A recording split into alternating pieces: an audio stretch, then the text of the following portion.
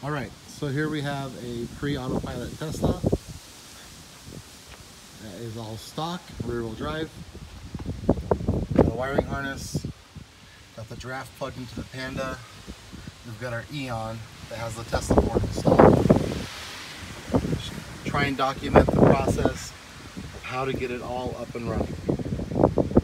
So we have the front here. First step is to take out front liner on the bottom. So pull that out.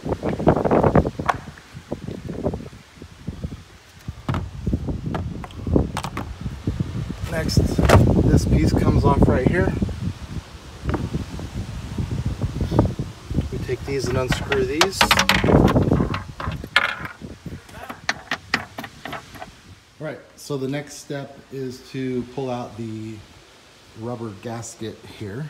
The, this pulls out to the side.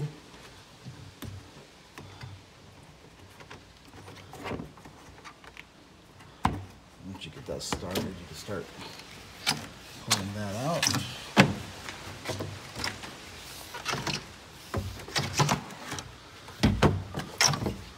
Okay. And then the next step is to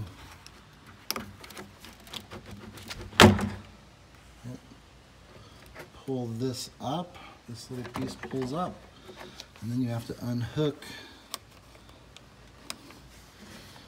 these two pieces here.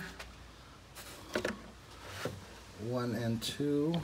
I'm gonna put the phone down. So on this top one, there's a tab that you press in, and that comes out. Then the bottom one just pulls out. And now this piece is out.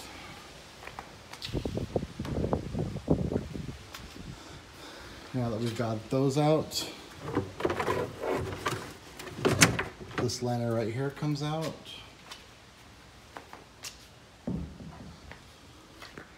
This other liner over here comes out as well.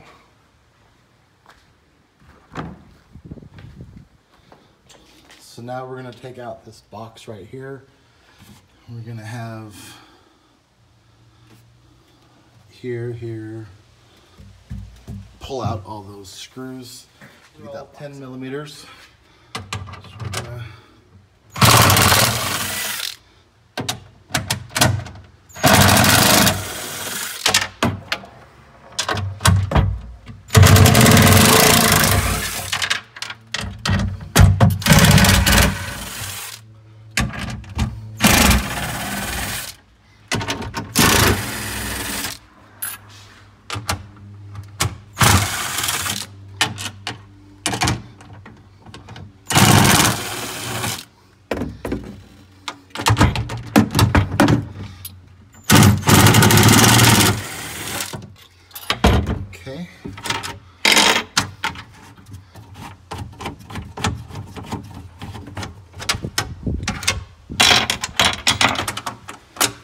These all out.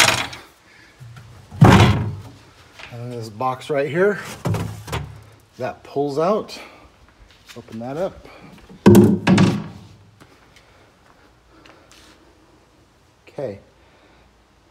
Next, we will remove these rubber stops and screw these.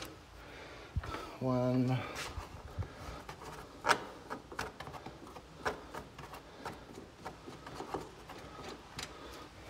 Two. And then we'll take out this plastic trim piece right here.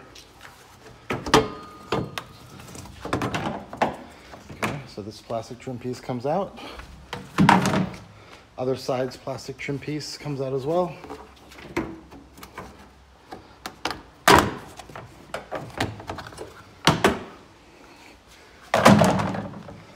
Okay. All right, we've got two 10 millimeters here and here.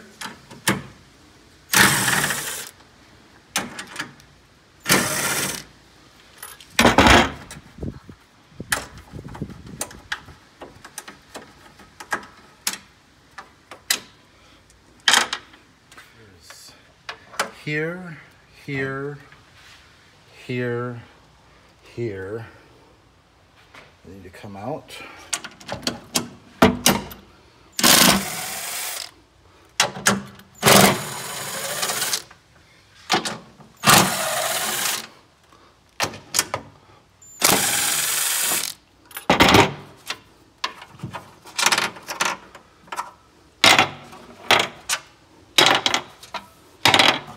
This piece out here has come out.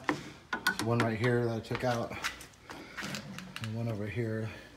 You can kind of just pry up the screwdriver. Okay, and then should allow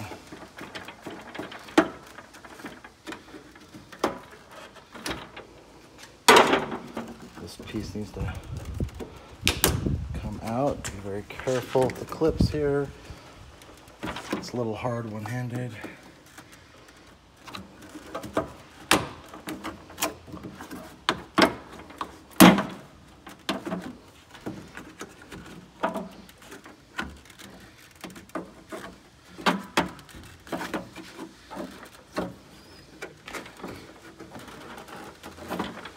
So, okay, so that piece I had to use two hands. There is clips here, here, and here that need to be carefully pulled out. Once you get those out, this piece removes.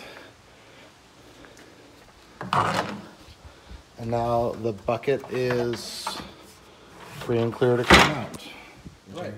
Now that the underneath the frunk is totally exposed, here's the electric power steering unit here. This connector right here is the one we want to unplug. There is a tab on the top and on the bottom.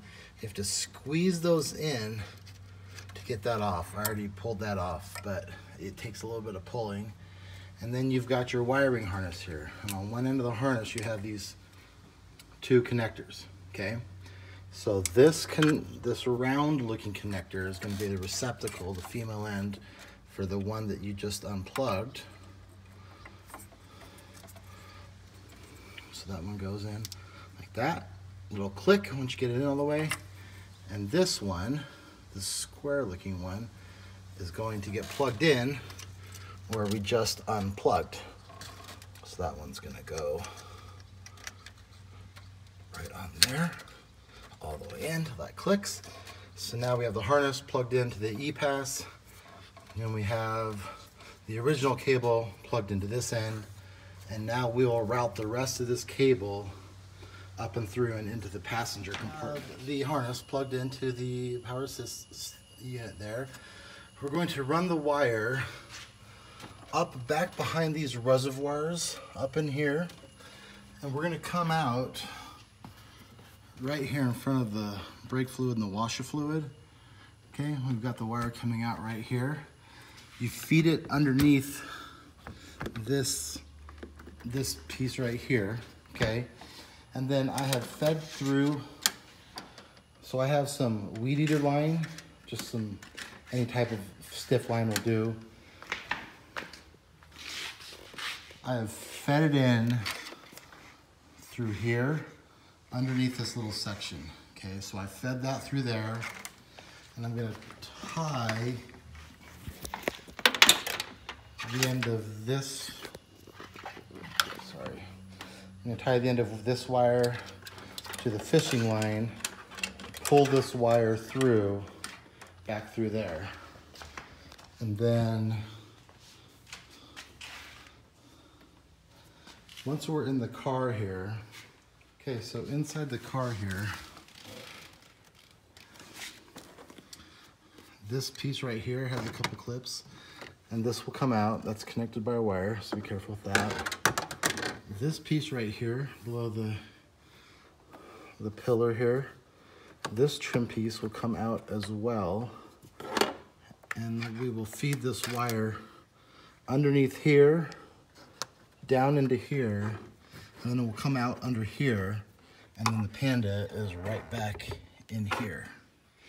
So I've taken the fishing line that I fed, or the, uh, the trimming line that I fed through, I've tied that to the wiring harness. The other end of this trimmer line comes back here. So we pull this through to get it through this, through that gap.